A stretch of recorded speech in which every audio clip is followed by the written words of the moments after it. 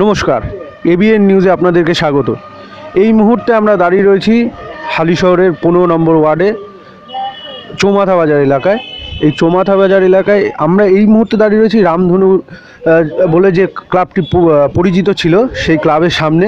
আর এই জায়গাটাতে একটা রামধনু হেসেলের একটা বোর্ড লাগানো ছিল যেখানে প্রত্যেক দিন প্রায় শতাধিক মানুষ এখানে আহ, মধ্যাহ্নভোজ ছাড়তেন।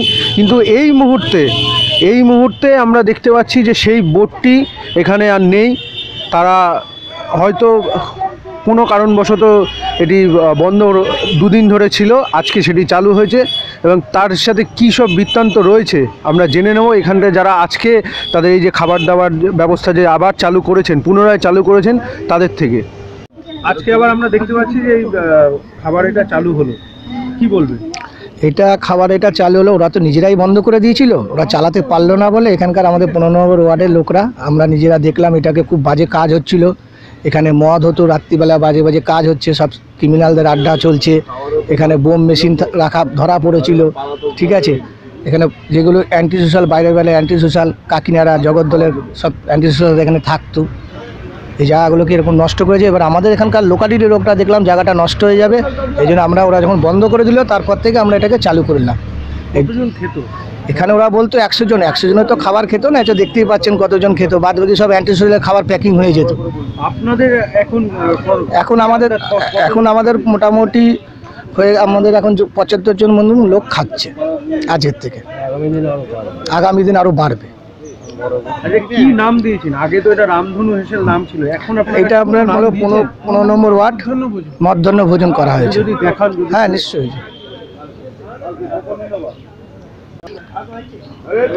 আমার নাম নানু নানু দাস। এই মুহূর্তে আমরা একদম পুরো হেসেলের ভিতরেই রয়েছি যেখানে এখানে খাওয়ানো দুস্থ মানুষ যারা রয়েছেন তাদেরকে খাওয়ানো হয়। আপনারা দেখতেই পাচ্ছেন সেই চিত্র যে ওনারা আজকে এখানে খেতে বসেছেন সবাই মিলে। আমরা একটুখানি কথা বলে নেব এখানে যারা খাচ্ছেন তাদের সাথে। বাঁধাকপির তরকারি আর ভাত। আপাতত এটাই পেয়েছেন হুম। আর কতদিন ধরে খাচ্ছেন দশ মাস হয়েছে খাচ্ছি। দশ মাস। হয়তো প্রত্যেক দিনই কি খাবার পান এখানে? হুম। আমরা তো শুনেছিলাম যে গত দুদিন এখানে খাবার দাবার বন্ধ ছিল। কি হ্যাঁ। জানেন? তা জানি না সেটা কি- কিছু বলে দেয়নি। মঙ্গলবার বুধবার দুদিন বন্ধ ছিল। আজকে আবার বৃহস্পতিবার দিন চালু হয়েছে। আজ থেকে আবার চালু হয়েছে। হ্যাঁ। তো কীরকম লাগছে? এইখানে ভালো লাগছে আসতে আমরা দেখতে পাচ্ছি এখানে অনেকেই দুপুরে মধ্যাহ্নভোজ ছাড়ছেন আমরা আরেকজনকে পেয়ে গেছি।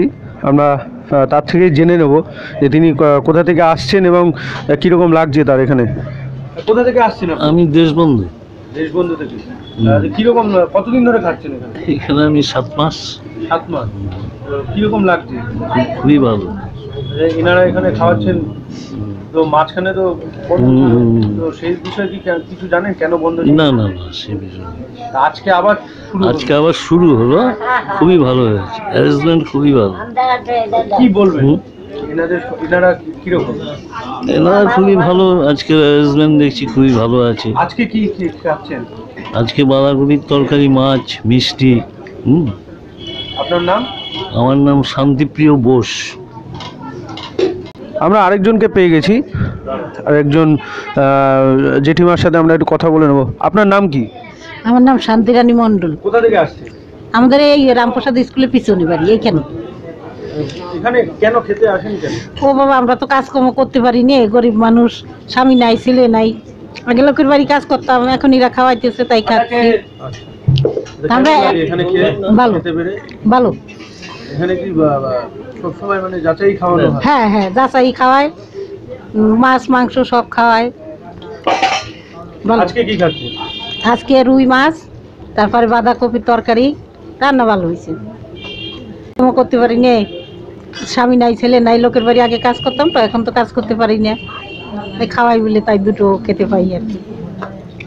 এটা এখানে স্থানীয় হ্যাঁ স্থানীয় ব্যবসাদার কি বলবেন? হ্যাঁ, বলছি আগের থেকে অনেক ভালো হয়েছে এই মুহূর্তে।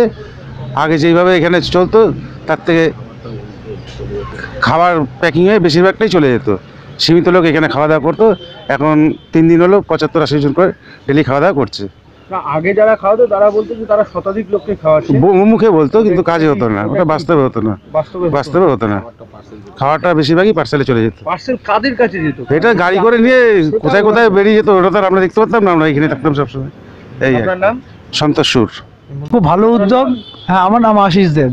আপনিও কি এখানকার আমি এখানকার ব্যবসায়ী করি ব্যবসায়ী লোক আগে যা আগে যা হচ্ছিল তার থেকে ভালোই হচ্ছে। এখনও আমি যা দেখছি পঁচাত্তর আশি জন লোক অলরেডি খাওয়া হয়ে গেছে আরও লোক বাইরে বসে আছে খাবে। আমার নাম আগে তো আগেও তো খাওয়ানো আগে তো হ্যাঁ। আগে বলা হতো একশো লোক খাচ্ছ কিন্তু একশো লোক খেত না। একশো লোকের অনেক কমই হতো আর বাদ বাকি খাবারটা পার্সেল হয়ে যেত। এখন এখন তাহলে আপনারা খুশি? আমরা তো খুশি আমরা সব সময় খুশি। এখন দুশো লোক খাচ্ছে এটা আমাদের কাছে খুব ভালো জিনিস আনন্দের ব্যাপার আমরা স্থানীয় ব্যবসা হিসেবে এটা বললাম।